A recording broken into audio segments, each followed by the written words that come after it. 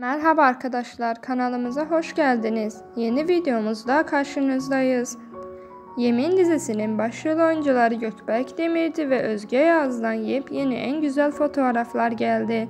Dizimizin bu güzel fotoğraflarını sizler için sunuyoruz. Oyuncularımızın birbirine yakın olması ve birbirine olan samimiyeti seyirciler tarafından da güzel karşılanıyor. Oyuncularımız en çok da seyirciler tarafından birbirine çok yakıştırılıyor. Umarım yakın zamanda Gökberk Demirci ve Özge Yaz'dan sevgili haberini duyarız ve çok seviniriz.